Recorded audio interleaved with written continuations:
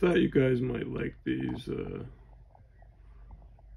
you know, everybody seems to like old coins, so figured I would share a couple of these. I go through a few different types of coins, usually once a night, and just kind of look at them.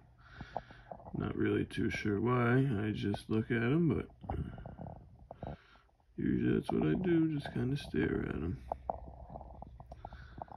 These are uh, American coins, these are half dollar Walking Liberty. They are 90% silver. Pretty cool coins.